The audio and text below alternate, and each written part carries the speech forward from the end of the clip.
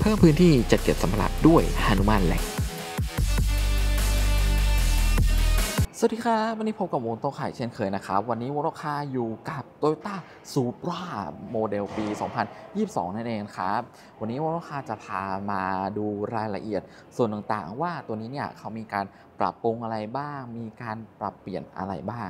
ไป เราไปรับชมกันได้เลย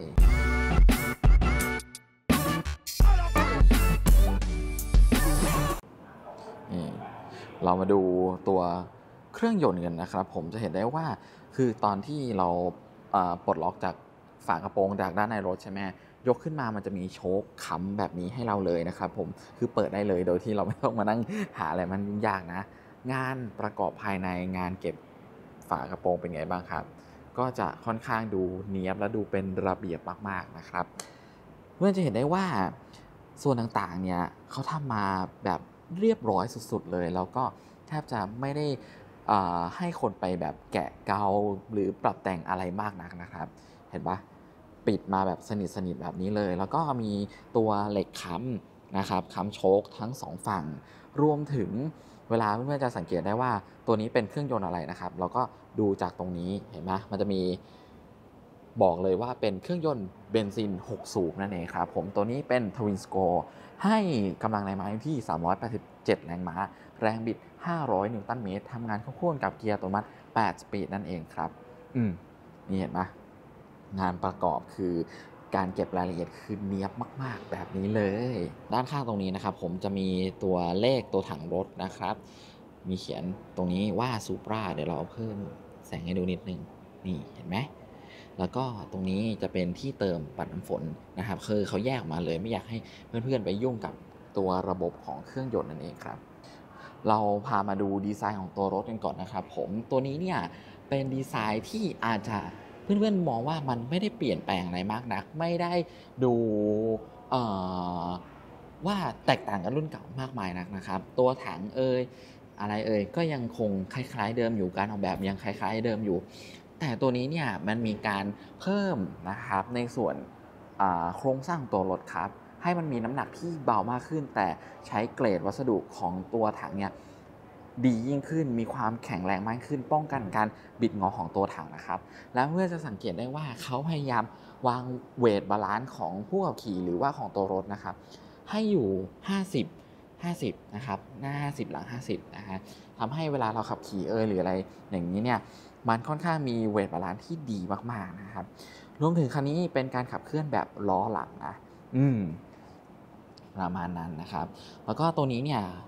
การวางจุดศูนย์ถ่วงต่ำของตัวเครื่องยนต์เอยหรืออะไรอย่างนี้นะครับเขาจะเพื่อให้การขับขี่ในการที่เข้าโค้งหรือว่าการขับขี่บนท้องถนนเนี่ยเป็นไปได้อย่างตามที่ใจเราสั่งนั่นเองครับ ส่วนช่วงล่างเอยระบบการสะเทือนเอยอะไรอย่างเงี้ย ด้านหน้าเป็นแบบ m a c p h e r s a t ครับ ส่วนด้านหลังเนี่ยเป็น Multi Link แล้วก็เขาเพิ่มเข้ามาก็คือตัว Adaptive Variable Suspension อันนี้คือดีมาก ๆ นะครับ จากการที่เราได้ลองในรถยนต์ของ Toyota หลาย ๆ รุ่นที่เขาใส่มา บอกได้เลยว่าการปรับช่วงล่างแบบอัตโนมัติของเขาเนี่ยดีมาก ๆ นั่นเองครับ อืมอะเราพามาดูดีไซน์ด้านหน้ากันก่อนนะครับจะเห็นได้ว่านี่ไฟหน้าของเขาเนี่ยจะเป็น เลนโปรเจคเตอร์ทั้งหมด 6 ลูกด้วยกันนะครับผมคือโคตรสว่างสว่างมากจริง ตัวนี้เนี่ยเป็น Adaptive LED ด้วยนะอ่าแล้วก็มีเห็นเล็กๆตรงนี้ไหม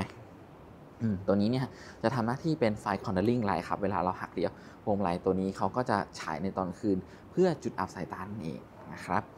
ด้านในจะทำเป็นเป็นสีดำแบบนี้นะครับ ไม่รู้เพื่อนๆเห็นไหม เป็นสีดำนะครับ มีคลิปเส้นแดงเล็กๆ นิดนึงอยู่นะ แล้วก็ไฟ daytime running light แบบยาวแบบนี้เลยนะ ตัวไฟ daytime running light ก็จะสวิฟกันกับไฟเลี้ยวนั่นเองครับ อืม ส่วนช่องแก้มด้านข้างตรงนี้นะครับทำมาเป็นลวดลายมากกว่าที่จะมีการเจาะเพื่อดูดอากาศเข้าซุ้มล้อนะ การดูดอากาศเข้าซุ้มล้อเนี่ย มัน มันจะมาอยู่ด้านข้างด้านในตรงนี้ฮะ เดี๋ยวผมเพิ่มแสงให้ดู เนี่ยเห็นปะ มันจะมาอยู่ตรงนี้แทน คือตรงเนี้ยมันจะเป็นช่องที่ไว้สำหรับตกแต่งแต่ถ้าเป็นอีกด้านหนึ่งเดี๋ยวผมพาไปดู ถ้าเป็นอีกด้านหนึ่งนะครับ เขาจะตรงเนี้ยมันสามารถแกะได้ครับเขาก็จะมีตัวห่วงเพื่อที่จะไว้สำหรับลากจูงรถอะไรพวกนั้นมานะครับ อืม เห็นปะตรงเนี้ยก็ปิดไปเลยนะครับ แต่จริงอะ ผมว่าน่าจะเป็นการเจาะเพื่อดูดอากาศทั้งตรงนี้แล้วตรงเนี้ยเข้าห้องโดยสารแล้วก็ดูดไปยังซุ้มล้ออะไรก็ว่าไป จะดีกว่านะครับ ถัดมาส่วนเรื่องระบบความปลอดภัยนะครับ เซ็นเซอร์ด้านหน้ามีด้วยกันทั้งหมด 6 จุด ก็คือตรงนี้ 1 2 แล้วก็ตรงแก้ม 3 นะครับ ฝั่งละ 3 อืมแบบนี้นะฮะแล้วก็ตัว skirt ด้านหน้าที่ทำมาเป็นเหมือน wing นะครับเขาจะทำมาเป็นสีดำออกกึ่งเงา แบบนี้นะครับอืมวัสดุน่าจะเป็นไฟเบอร์ นะ อืม เป็นสีดำแบบนี้เลยนะครับเราถอยให้ดูไกลๆก่อน โอ้โห ยังหล่อฮะ อีกจุดหนึ่งที่พูดถึงเรื่องระบบความปลอดภัยก็คือ ตัวกล้องหน้านะฮะต้องด้านบนจะเห็นว่าพี่เออยู่ในรถใช่ไหมเราได้คิวเดียวกันนะครับ ก็คือทำรีวิวพร้อมกันไปเลยนะครับ ตัวกล้องด้านบนเพื่อนจะเห็นไหม ตัวนี้นะครับเขาจะทำงานควบคู่กับระบบความปลอดภัยครับเขามีระบบความปลอดภัยแจ้งเตือนออกนอกเลนพร้อมหน่วงกับในช่องเลนให้มีระบบ Active ให้ป้องกันก่อนการชนให้ตัวกล้องตัวนี้ก็จะทำงานนะครับ อืมถัดมาให้ดูลายล้อ เท่มากๆเลยครับ เป็นแบบลายก้านนะครับ ผมทำสีดำออกกึ่งเงามาแบบนี้เลยนะครับ จุดเด่นอีกจุดหนึ่งก็คือตัวนี้เนี่ยเขาจะให้คาลิเปอร์เบรกสีแดง แล้วก็ทำลายเขียนว่า Toyota Supra มาแบบนี้โคตรเท่เลย เท่มากๆเลยนะครับ แล้วก็จะเป็นดิสเบรกทั้ง4ล้อนะครับ ส่วนยางนะครับผมเขาให้มาเป็น Michelin Pilot Super Sport นะครับผมก็ยางซิ่งเลยก็ว่าได้นะครับ ขนาดยางให้ 255ทับ35อะ ZR19 นั่นเองครับ เดี๋ยวเราจะไปดูด้านหลังว่าเป็นยังไงนะ เราให้ดูการเก็บรายละเอียดของซุ้มล้อก่อนปุ๊บเพิ่มแสงหน่อยนึงอะเห็นไหมการเก็บรายละเอียดด้านในเนียบเลยนะครับเขาก็ค่อนข้างคำนึงถึงเรื่องเกี่ยวกับเสียงหรือ noise ที่เข้ามาอย่างห้องโดยสารด้วยล่ะครับประมาณนั้น ส่วนแก้มด้านข้างตรงนี้เขามีการทำลวดลายครับ ไม่ได้มีการเจาะเพื่อ โฟลหรือดูดอากาศออกจากช่องตรงนี้นะ อืม ใจจริงอะ ผมว่าถ้ามันทำเป็นตาข่ายหรือว่าแบบปรับเปลี่ยน ผมว่ามันจะดูสวยกว่านี้มาก ๆเลยนะครับ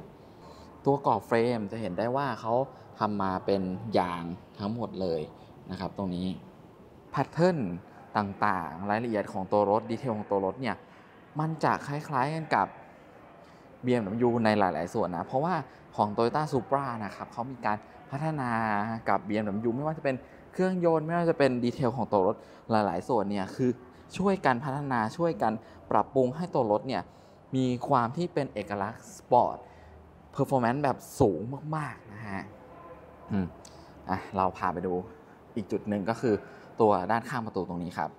เขาก็คำนึงถึงเกี่ยวกับพวก aerodynamic นะ แต่ถ้าว่าช่องด้านข้างตรงนี้ก็ไม่ได้เจาะมานะครับ เห็นไหม เออ ไม่ได้ทำการเจาะไม่ได้ทำอะไร เป็นแค่แบบลวดลายทำมาเท่าเท่านี้เท่านั้นเองนะครับ ส่วนสเกิร์ตด้านล่างนะครับ ก็ทำมาเป็นสีดำกึ่งเงาเหมือนกับลายล้อแม็กเหมือนกับตัวกันชนหน้าในพวกนี้นะครับ อืมนี่นะด้านหลังคืออูมมาก ๆ เลย ก่อนที่จะพาไปดูด้านหลังแล้วพาดูล้อหลังก่อนนะ เห็นไหมขนาดหน้ากว้างคือ ตรงด้านหลังเนี่ยเราจะเห็นได้ว่าบ้านท้ายด้านหลังมันจะดูอูมกว่าด้านหน้านะครับ เพราะว่าขนาดยางเนี่ยเป็น 275ทับ35 RZ ZR19 ก็คือหน้ายางเขาจะค่อนข้างใหญ่กว่านั่นเองครับ เน้นสมรรถนะเน้นการขับเคลื่อนแบบล้อหลังแบบโหดๆเลยนะครับ อืมโอเค พามาดูด้านหลังกัน เห็นไหมตัววิงด้านหลังก็จะใช้เป็นสีเดียวกันกับตัวสเกิร์ตนะครับ เป็นสีดำกึ่งเงาแบบนี้เลยนะครับ ผมมีไฟเบรกดวงที่ 3 ตรงนี้มาให้นะครับ มีไฟนับทีมไฟด้านหลังจะเป็น LED เชฟแบบนี้เลยกลางคืนโคตรดุนะครับ ปลายท่อสแตนเลสออกคู่ทั้ง 2 ด้านนะฮะเดี๋ยวเราให้ดูด้านหลังกันเต็มๆก่อนอืมดุไหมโอ้โห ยังหล่อ นะครับ มีสัญลักษณ์ GR แล้วก็เขียนว่า Toyota Supra ว้าว กล้องมองหลังอยู่ไหนหน้า อยู่ตรงนี้เลยครับ อยู่ใต้โลโก้ เดี๋ยวขอเพิ่มแสงนิดนึงปึ๊บ นี่ กล้องมองหลังครับ จะอยู่ใต้โลโก้ซูปราตรงนี้เลยนะครับ อืม แล้วก็จะมีไฟส่องแปะป้ายทะเบียน แต่ว่าเราจะหาไม่เจอครับว่าตัวฝาท้ายเนี่ย มันเปิดยังไงอะมันเปิดยังไงได้บ้างนะครับ ก็คือจะเปิดจากที่รีโมทแล้วก็เปิดจากด้านในรถนั่นเองครับ เดี๋ยวผมขอเปิดจากด้านในรถให้ดูว่าเป็นอย่างไรเนาะอืมเดี๋ยวเราถอยมาไกลนิดนึงนะครับ จะดูว่าตัวฝาท้ายเวลาเปิดแล้วเนี่ย มันจะสูงขนาดไหนนะครับ เดี๋ยวขอตั้งมุมนิดนึง โอเคอึ๊บ ป้าบ โอเค เราขอเปิดให้ดูนี่ อันนี้คือปลดล็อกแล้วนะครับ แล้วเราลองยกดูปุ๊บเห็นป่ะมันขึ้นมาทั้งชิ้นเลยนะครับ แล้วก็ไม่ได้มีน้ำหนักเลย เพราะว่าตัวนี้เนี่ยมันมีตัวโชคครับ ที่จะช่วยให้เราผ่อนแรงแบบนี้นะครับ แล้วก็เวลาเรายกของเข้าไปคือง่าย ๆเลยนะแล้วก็ตัวที่บางสัมภาระเนี่ยเราสามารถถอดออกได้นะ มันเป็นแบบสาย เฉยๆแบบนี้นะครับเนี่ยถอดออกได้ หรือว่าเพื่อนๆจะพับเก็บอะไรก็ว่าไปนะครับทำได้หมดอ่าฮะโอเคอะอึ๊บนี่แล้วก็เดี๋ยวเราจะให้ดูภายในก่อนว่าเป็นอย่างไรนะครับ ที่เก็บสัมภาระอึ๊บนี่ที่เก็บสัมภาระภายในก็จะประมาณนี้เดี๋ยวลดแสงให้ดูนี่ นะ มันมันจะมันจะค่อนข้างลึกครับผม แล้วก็จะมีมิติที่วางของได้กระเป๋าสักใบสองใบอะกำลังแน่น ๆนะครับ ประมาณหนึ่งแบบนี้แล้วก็มีที่แขวนของให้ซ้ายและขวาเห็นไหมครับ แล้วก็ตัวนั้นเป็นตัวซับวูเฟอร์ลำโพง เพราะว่าลำโพงคันนี้เนี่ยได้เป็นลำโพง JBL 12 ตำแหน่งนะ คือเสียงแบบดีใช้ได้เลยนะครับ อืมประมาณนี้ ให้ดูด้านท้ายก่อนปุ๊บว่าเป็นยังไง โอ้โห เปิดแล้วแบบใหญ่โตมโหฬารมากๆนะครับ แล้วเขาก็มีที่จับด้านบนตรงนี้มาให้นะฮะเพื่อปิดแบบนี้ รบกวนพี่เอหน่อย นี่ อันนี้ไฟเลี้ยวนะครับผมก็จะอยู่ตรงนี้ โหดุมาก ๆ เลย แล้วก็ไอไฟข้างล่างเป็นฟอกแลมใช่ไหมอ่า ครับผมอ่าไฟเบรกติดแล้วครับ โอเคเนี่ยไฟเบรกนะครับโอ้โหโคตรดูเลยอะเพียสตาร์ทให้นัดฟังสักรอบนึงได้ไหมโอเค นี่ เราเอาเสียงไปใกล้ๆใช่ครับนะเราออกทั้งสองกล้องอะเราเอาไมค์ไปตั้งใกล้ๆจะดูซิว่าเสียงเขาจะเดือดขนาดไหน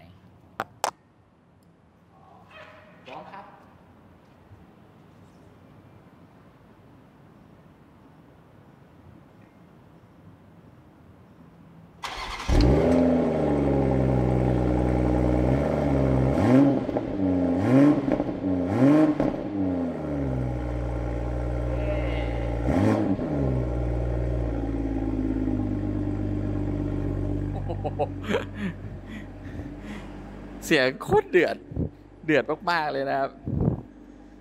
โอ้โห นี่เห็นไหมอืม อืม ไฟถอย พี่เอกต้องลองใส่ แล้วล่ะเดี๋ยวเดี๋ยวนั้นไปใส่ให้ เดี๋ยวนั้นไปใส่ให้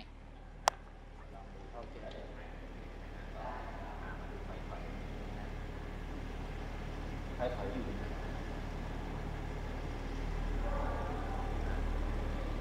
อ๋อ ไฟถอยอยู่ด้านล่างด้วย โอเค ไฟถอยอยู่ด้านล่าง มีไฟบล็อกแล้วนะต้องกดไฟบล็อกแล้วอะ โอเค เราจะเห็นไฟบล็อกแล้วเป็นหกดวงข้างในแล้วรอบนอกก็มีเป็นไฟทองคำโอเคก็สรุปครับผมที่เพื่อนๆเห็นไปนะครับ ตรงนี้ก็จะเป็นฟอกแลมเรากดสวิตช์ข้างในมันจะเปิดนะ แล้วก็ตรงนี้จะเป็นเม็ดถอยนะครับ เป็น LED ด้านข้างนั่นเอง พูดถึงดีไซน์แล้วก็เส้นสายความเคิร์ฟความโอบอัน รวมไปถึงดักเทลด้านหลังเนี่ย ที่มันจะทำให้ตัวรถนะครับ เน้นเรื่องเกี่ยวกับ gravity เน้นเรื่องเกี่ยวกับ aerodynamic ได้ดีมาก ๆ เลยเพื่อนดูเส้นสายความโค้งของเขาสิ โอ้โห เชฟโค้งคือแบบโคตรสุดเลยนะครับ แล้วก็อีกจุดหนึ่งนะครับ เพื่อนๆเห็นการเว้าไหมของหลังคานะครับ ก็จะอิงกับเวลาผู้ขับขี่ แล้วก็เรื่อง aerodynamic ที่มันจะลูดนะฮะแล้วก็ลงมาตรงนี้แล้วก็มาหาดักเทลด้านหลังนั่นเองครับ อ่าเรามาดูถังน้ำมันกันจะอยู่ด้านขวานะครับ กดปึ้งรองรับน้ำมันแก๊สโซฮอล์95 นั่นเองครับ ที่ผมบอกไปครับว่าตัวรถเนี่ยมันจะมีกลิ่นอายความเป็นคล้ายๆของ BMW ก็คือตัวมือจับประตูนี่แหละครับ เรียกได้ว่าเหมือนเหมือนเลยหรือถอดแบบมาเลยก็ได้ ที่มีตรงนี้จะเป็นตัวถอดมาแล้วเป็นขันกุญแจใช่ไหมคีย์เลสจะซ่อนอยู่ข้างในตรงนี้ก็คือล็อกประตูล้วงก็คือปลดล็อกครับ แล้วก็ตัวกระจกบานนะครับ เป็นกระจกที่เฟรมเลสเลื่อนอย่างนี้ปุ๊บเห็นไหมตัวกระจกจะล่นลงแล้วก็ปิดเลื่อนขึ้นแบบนี้ ตัวกระจกมองข้างนะครับผมก็จะเป็นตรงนี้จะเป็นทำสีแมตต์เหมือนกับลายล้อแม็กเหมือนกับตัวสเกิร์ตนะครับ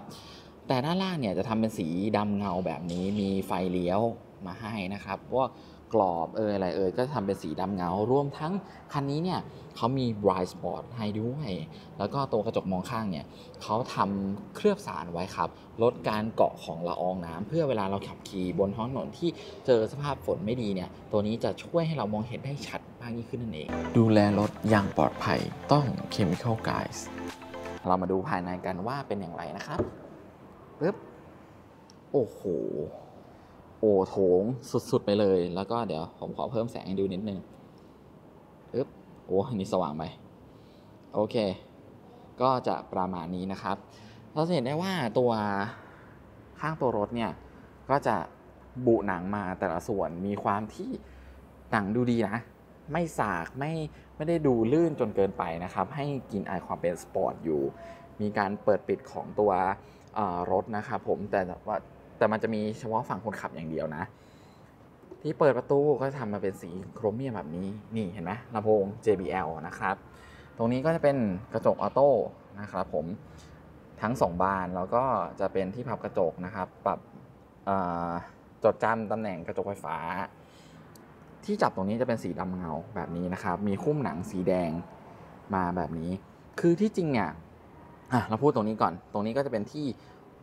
ใส่ของวางของเล็กน้อยนะครับ มีปุ่มเปิดฝาท้ายตรงนี้นะปลดล็อกเปิดฝาท้ายแล้วกันนะฮะแล้วก็ที่ใส่ของเล็กนิดนึง อาจจะวางโทรศัพท์ได้ ถ้าใหญ่อะวางไม่ได้นะครับ แล้วก็เพื่อนๆจะเห็นได้ว่าภายในของตัวรถเนี่ยมันจะมีการบุสีแดงใช่ไหมครับ ซึ่งตัวภายในของตัวรถเนี่ยมันจะมีให้เลือก 2 แบบครับ คือภายในสีแดงทั้งข้างประตู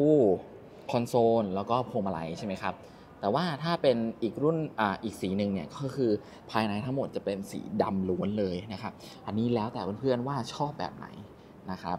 ตัวด้านล่างตรงนี้จะมีแผ่นเพลทเขียนว่า Toyota Supra อ่าอีกจุดหนึ่ง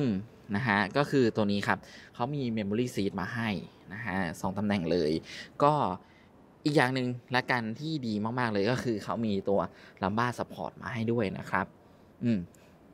นี่ แล้วก็หนังครับมันจะเป็นหนังแท้ด้านข้างตรงนี้นะครับ หัวหมอนสลับกับหนัง Alcantara นะครับอันนี้คือให้ feeling แบบสปอร์ตดีมากๆเลย แล้วก็ทำตัวนี้มาเป็นสีเงินนะฮะเราให้ดูกันเต็มๆว่าเป็นอย่างไรนะครับผมอึ๊บโอ้โห เหมือนรถแข่ง รถซิ่ง ดูดีมาก ๆ เลยนะครับผม โอเค แป้นเบรกกับแป้นคันเร่งเนี่ย จะค่อนข้างคล้ายๆกันกับ BMW เหมือนกันนะ อืมอืมเดี๋ยวเราให้ดูก่อนว่าเป็นยังไงนะครับ โอเค นี่ เห็นนะแป้นเบรกแป้นคันเร่งที่วางเท้าคือเหมือน BMW หมดเลยนะครับ รวมถึงที่เปิดฝาอะที่เปิดกระโปรงหน้าเหมือนกันนะครับ ดึงสองคันเหมือน BMW เลย วางตำแหน่ง pattern ตรงนี้นะครับผม ก็เหมือน BMW นะครับ การ setting ไฟแลมอะไรในรถเนาะอืมโอเคแต่พวงมาลัยเนี่ยไม่ค่อยเหมือนสักเท่าไหร่นะ เดี๋ยวผมลองเลื่อนให้ดูก่อนนะฮะโอเค โอเค นี่ พวงมาลัยนะครับผมเขาจะออกแนวเหมือนคล้าย ๆ ว่าโตโยต้านะฮะมีผิวสัมผัสที่ดีเนี่ยเห็นปะ เป็นหนังแท้ feeling การลูบมันก็จะดูลื่นๆ ดูเนียนๆนะครับ พร้อมเขามี paddle shift มาให้ อันนี้ paddle shift น่าจะเป็นของ BMW นะ เห็นปะไซส์ใหญ่แบบนี้เลยนะครับ ความหนาของพวงมาลัยเนี่ยอาจจะดูเวลาเรากำมันอาจจะดูไม่เหมือนกันกับ BMW นะ คือ BMW เนี่ยเวลาเรากำมันจะดูอุ้มๆกว่านี้นะครับ แต่ตัวนี้เนี่ยก็ยังดูสปอร์ตกว่านะครับ อืม นี่ พวก Entertainment นะครับ แล้วก็ ฝั่งนี้จะเป็นตัว Cruise มี Cruise มาให้นะครับผมประมาณนี้ ด้านข้างตรงนี้มีการบุหนังมานะ นุ่มๆเลย เออ อันนี้ดีนะครับ เวลาคนขับทางไกลๆตรงนี้เป็นที่วางแก้วน้ำสองตำแหน่งนะครับผมแล้วก็ที่วางของอีกหน่อยหนึ่งสวิตเลี้ยวซ้ายเลี้ยวขวาสวิตตัวที่เป็น เขาเรียกอะไรอะที่ปัดน้ำฝนนะครับ หรือว่าไฟเลี้ยวอะไรเงี้ยถอดแบบ BMW มาหมดเลยนะครับ เรียกได้ว่ายกมาเลยก็ว่าได้นะครับผม แล้วก็นี่ตรงกลางตรงนี้นะครับ ผมจะเป็นอ่อแล้วก็ตรงนี้หัวเกียร์จะไม่ไม่เหมือน BMW นะ แต่ที่เหมือนก็คือปุ่ม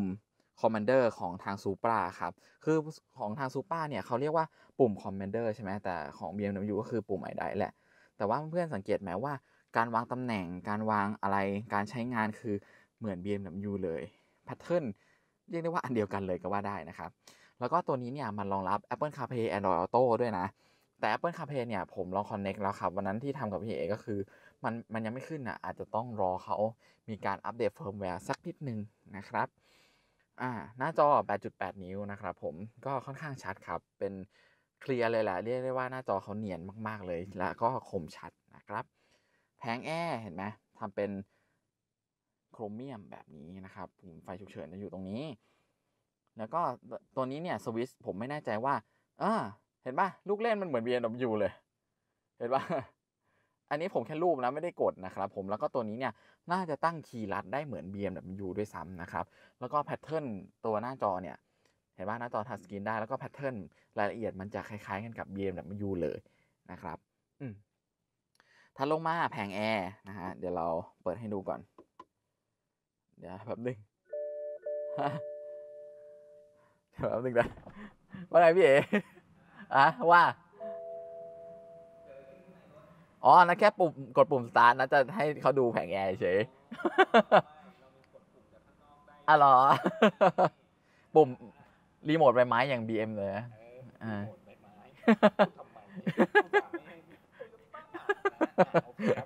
โอเคครับ นี่พี่เอกก็เอารีโมทมาให้เราดูนะครับ เห็นปะรีโมทมันเป็นรีโมทใบไม้ดีไซน์ของ BMW เลยนะครับ แต่ว่ามีคลิปตรงกลางเป็นสีแดง ให้ความรู้สึกเหมือนซูปราแล้วก็นี่เห็นปะล็อกรถเปิดล็อกรถเปิดฝาท้าย แล้วก็เปิดรายละเอียดของตัวรถนั่นเองครับ อืมโอเค เดี๋ยวเราพามาดูตรงนี้นิดนึงนะฮะ ก็พวกแผงแอร์ปรับซ้ายขวาแยกอุณหภูมิ ปรับโหมดแอร์ แยกกันเลยนะครับ อันนี้คือดีมากๆ แล้วก็มีเบาะอุ่นให้ด้วยนะ ผมไม่แน่ใจว่าเป็นอุ่นหรือว่าเป็นแบบโฟล์เพื่ออากาศความระบายของเบาะนะ อืม อันนี้นะครับ ด้านล่างจะมีตัวที่เป็นชาร์จไวเลสมาให้ตรงนี้นะครับ แต่ว่าแอบใช้ยากนิดหนึ่งนะ อืม มันมีไอตัวที่เป็นชุดแต่งบัง บังอย่างนี้อยู่นะครับ เวลาล้วงมือไปเพื่อจะใส่โทรศัพท์เนี่ยอาจจะยากสักนิดหนึ่งนะครับ ตกแต่งด้วยเป็นโนแบ็กนะครับผมแล้วก็ใช้ลายคาร์บอนแบบนี้ โคตรเท่เลย ให้ดูเต็มๆ เห็นไหมเท่มากๆเลยนะครับ แล้วก็เบรกมือไฟฟ้ามีให้นะครับ Safety System นะครับ พวกระบบความปลอดภัยนะครับ เพราะว่าคันนี้เนี่ยที่จริงได้ Toyota Safety Sense มานะครับ Detection ตัวกล้องถอยหรือว่าระบบช่วยถอยจอดนะครับ Sport Mode Auto Start Stop นะครับ อืม ประมาณนี้ โอเค แล้วก็ช่อง USB สำหรับ Connect มาให้ 1 ช่อง แล้วก็ช่อง Power Outlet ตรงนี้นะครับ ปุ่ม Start Stop จะอยู่ตรงด้านนี้นะครับ เราเปิดก่อน อะเหยียบเบรก กด Start โอ้โห เสียง นะฮะ ก็เป็นจอเหมือนเกือบจะ Full LED เลยนะครับ เพราะว่าตรงด้านข้างตรงนี้เนี่ยเขาจะมีแสดงผลเกี่ยวกับตัว รถนะครับผมแล้วก็ตัวนี้เป็นรอบความเร็วมีความเร็วเป็นแบบดิจิตอลแบบนี้มาให้นะครับ เออหน้าจอค่อนข้างสวยนะ แล้วดูแบบ